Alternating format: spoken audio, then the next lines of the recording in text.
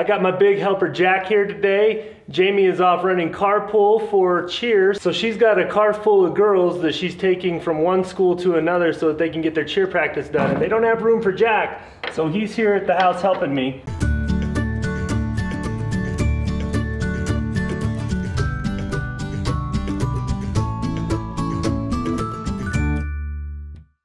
Doing is we've got these 90s that come out that are fastened securely to the wall. You could use a PEX plastic 90 and secure it with one of those C-clamps that I was hammering in. But since these have to be screwed and they have a shut-off valve on them, I wanted them to be brass so that they're a little more stable. I think I feel like that's gonna hold up longer. Okay. Oh, that's soft. Yep, it is soft. Hold it tight. Don't let it don't let it roll. I'm gonna spin this. We're gonna do about three wraps of that. Okay. Then we pull it and snap it. Okay, hold that. Don't let it touch the ground and get dusty. So we've got Teflon tape on our threads. I'm also using T plus two. One or the other would probably be fine, but I'm doubling up because I don't want to ever have to redo these. I don't want them to leak. And then we thread that on. Just like that. Okay, you think you can spin that on a little bit? Spinning it extra. You're spinning it extra. Get it as tight as you can with your fingers and then we'll hit it up with the wrench. Do we have to do it this way? Yep, you're turning it the right way. Remember, righty tighty, lefty loosey. Unless it's a reverse thread or left hand thread. Did you get it tight? Mm, yeah. Look how tight it is. What we're putting on here is a half inch to three inch compression adapter and the PEX pipe that goes up to the sink fitting will be able to go in through here. You screw this nut on and it's nice and tight. Trying to balance on one leg, guys. Okay, we're gonna have to wrap again. You ready? Side. What are you doing, Jack? Trying to bounce on one leg. All right, here. Okay, hold that tight. Okay, you, you hold it tight and I'm gonna wrap it. All right, so, Okay. whoops, we almost forgot our T plus two. Can I put on this time? I'm gonna do the T plus two. Cause it's kinda goopy and I wanna make sure it's right where I want it. All right, No, I want to twist on. okay, you twist it on. Oh, this one's getting tighter than this one. Uh, I think that's enough.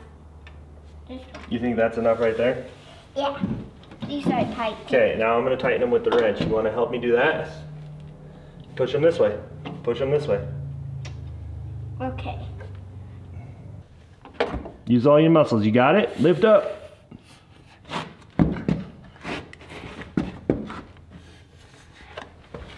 Yeah, get into that. Don't slip off. Careful not to slip off. Man, you're getting that so tight. Get in, hide with this one. Get it. You think you got it? Yeah. All right, I'm gonna work on the other one. Sure you always screw these tight on. Yep. So Jami told Jack if he came and worked with me at the house, he could draw on these walls because they're gonna get covered up. So he is excited about that because he's not allowed to draw on walls, right? Oh, you got that pretty good. I didn't have to do very many turns. Snake. And here. Here. Little. Little. Tiny. House. So I just got my delivery today. We have a high flow household filtration system. This is made by GE and it is designed to filter the water coming in from your water main into the house. We're gonna be setting that up today and I've also got a sediment filter and it's also supposed to remove chlorine and help with taste and odor of water. So when we had the home inspected before we bought it and before we started doing the demolition, we had the water pressure tested. It was at 60 psi, which is in a good range of pressure. So I'm not worried that the pipes are corroded or anything coming into the house. They are galvanized, so that may be an issue later down the road. For now, we're gonna go with a filter. These have to be replaced every 30,000 gallons. That typically lasts most households about three months. So at $20 a filter, I'm about $240 a year to filter the water versus about two or $3,000 in equipment rental and time and digging up the water main so that I can replace that. We're at least gonna try it out for a few months, see if it works, see if it keeps the water from having any like rust or anything like that in it. So the iron that causes rust is what's considered, it falls in the sediment region, and this is supposed to be able to remove that. So hopefully it does well. We're gonna hook it up today. So over here on this wall is where I'm installing the PEX. Now, here are the basement stairs, and I've got some plumbing and things that'll be rerouted, and some sewer lines that go through there that I will fix. And on this wall here is where I have the water main coming in. So I'm pretty sure that this is the main line coming into the house. It's three quarter inch galvanized pipe. And this line here is my only question mark. This goes to the rest of the house here. I think this goes and feeds the outside faucets. There's one over here on the east side of the house and one on the west side of the house and I'm getting rid of both of those. We'll have a new water faucet for the backyard hooked to the addition, and I have a water faucet hooked to gray water out front. Well, we got a little bit of a leak happening here. I'm hoping that that is just backfill in the water running out from this pipe here because the main should be off. I mean, they're not really shooting out any water and I don't have anything else to this pipe connected. So I feel like that's a good sign.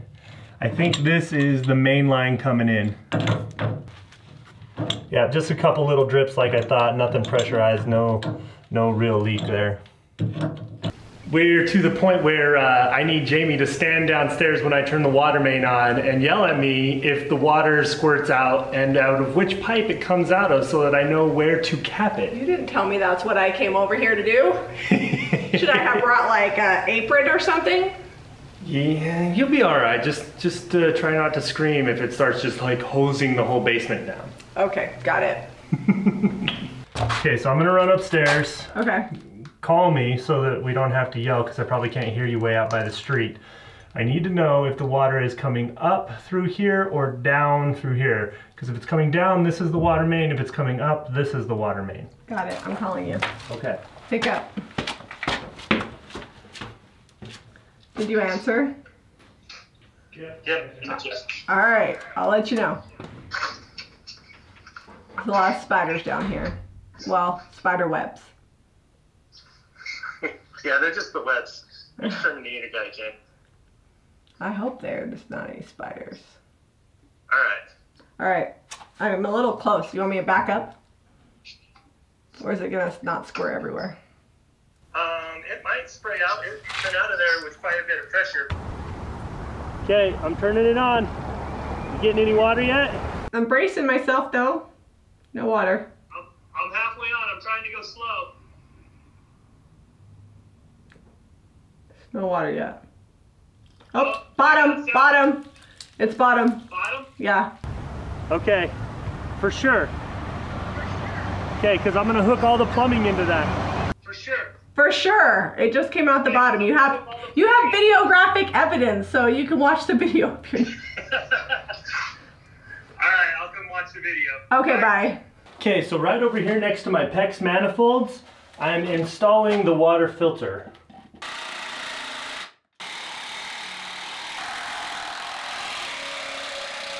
Maybe soon we'll get some proper lighting down here. So the GE filtration system, and I'll, I'll put the link in it below with the exact model number I got. It had really high reviews online and on Amazon, which, you know, people can really tear stuff up on Amazon. So if you have high reviews on Amazon, you're winning. This is one of those moments where I, uh, you know, I forgot my ratchet set again. I don't really need it for a ton of things, but all this little plumbing stuff, I've been needing it more and more. I'm gonna have to bring it over.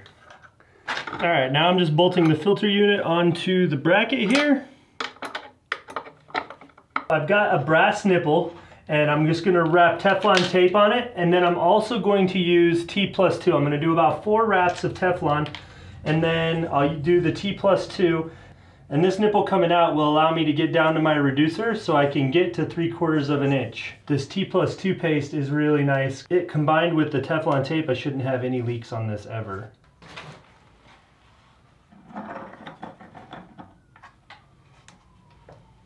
All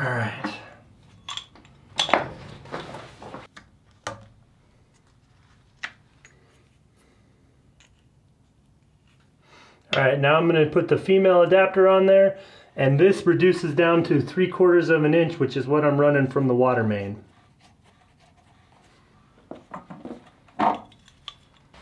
Now I just have to do that to the other side. I'll put some shut-off valves and then this will be ready to run over to the manifold and this side will be ready to run to the water main. This is my in and my out and it has arrows directing the flow so it's easy to remember. Okay, so now I've reduced down to the three quarter inch. I can get my three quarter inch PEX line on there. And out with the handy dandy crimper with the light.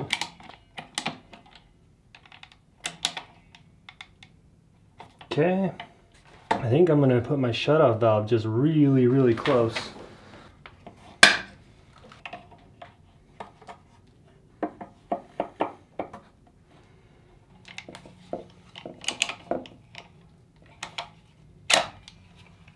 All right, now I have, I can bolt this shutoff valve up.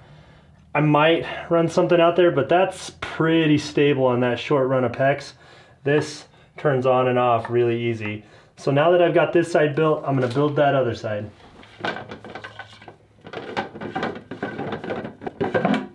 The filter doesn't look like it has a top or a bottom, and it doesn't specify. I'm gonna just drop it in and screw it back on. To get like a little hook or hanger so I can leave that close. So it has a bypass that'll shut it down and you can just run water through there or you can select filter. So it's off completely, filter, and then there's a bypass and we're gonna leave it on filtered. So next to go in line is this T-coupling. So the reason I'm doing a 3 quarter inch T right here is because I need to get down to my cold manifold and I also need to get over to the hot water heater. And this tea will be plenty to feed both.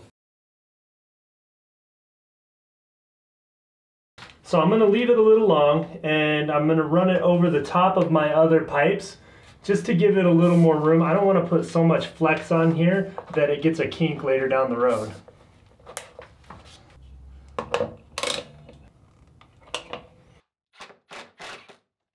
Now that I'm looking at it, that's a little messy, so I may come back in and just 90 down and then come over. That way it's not twisting all over the place. I decided it would be best to run some 90s on this one. I gotta go up and through the floor joists on this, so this one's got a little farther to travel.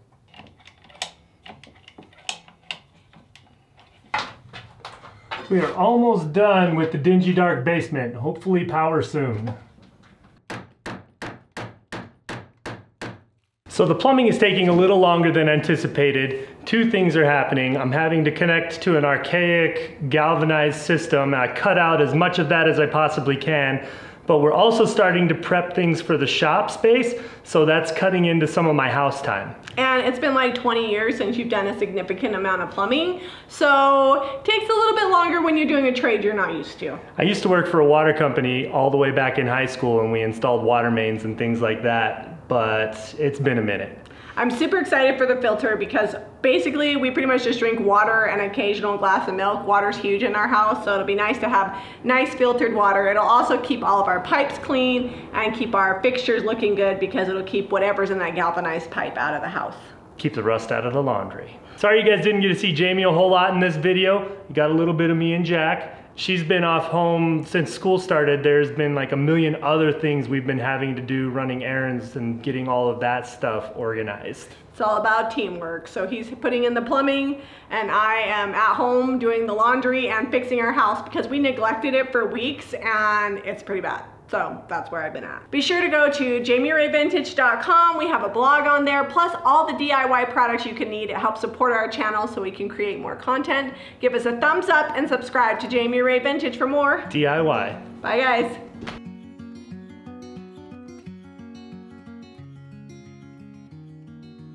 Hit the subscribe button.